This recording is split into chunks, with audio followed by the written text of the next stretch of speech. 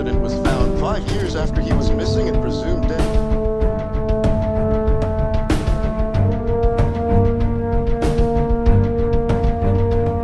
You don't know in your heart what you're fighting for. You aren't at all what people say about you. Most people fail to see the real me. I told you, I did not come back to Starling City to be the vigilante. I respect that. I don't. I've made a few improvements down here. My best friend died thinking that I was a murderer. I mean, whoever he is, he's willing to sacrifice an awful lot to help the people of the city. Kind of makes him a hero, doesn't it? Where you been? Someone has to do something and stand up for what's right like, like he did. The vigilante.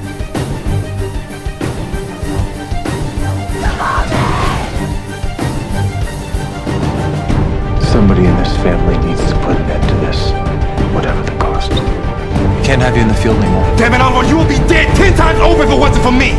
Some things never die. You, for example. Who the hell are you? I'm the justice you can't from.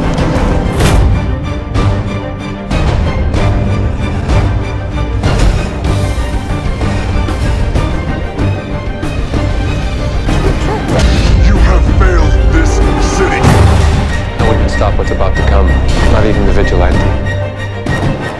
There's the one person who has to die.